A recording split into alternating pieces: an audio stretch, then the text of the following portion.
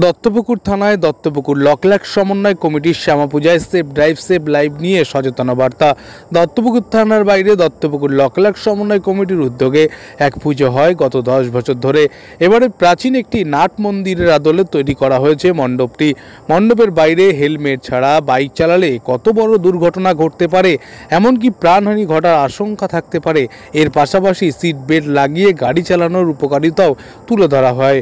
দর্শনার্থীদের কাছে দত্তপুকুর লকলাক সমন্বয় কমিটির সহযোগিতায় এই পুজো হয়ে আসছে। মূলত প্রতিদিন দুর্ঘটনায় প্রাণ যাচ্ছে অসংখ্য মানুষের। সেই দুর্ঘটনা রুখতে গাড়ি চালকদের সচেতন হবে। সেই সচেতনতা আরও বেশি করে বাড়ানোর জন্যই তাদের এই পরিকল্পনা বলে জানান।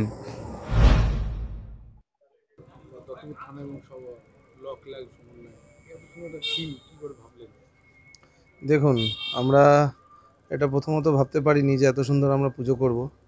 প্রত্যেকের সহযোগিতা এবং দত্তপুর লকলার সমন্বয় কমিটি আমরা সকলেই যারা আছি তারা প্রত্যেকে সহযোগিতা করেছে আমাদেরকে প্রাণ ভরে প্রত্যেকে আশীর্বাদ করেছে তার দ্বারাই এটা সম্ভব হয়েছে যে আমরা এই পুজোটা সাফল্যভাবে করতে পেরেছি। এটা হচ্ছে আপনার প্রাচীন যুগের একটা মন্দির যাকে বলা হয় নাট মন্দির।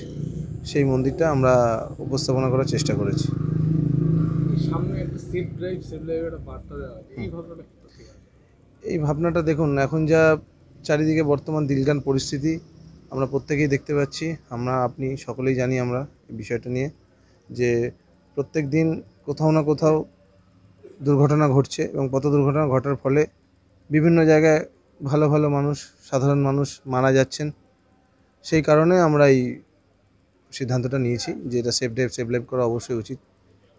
এটার মধ্যে দিয়ে কোনো বার্তা ছড়িয়ে যাবে?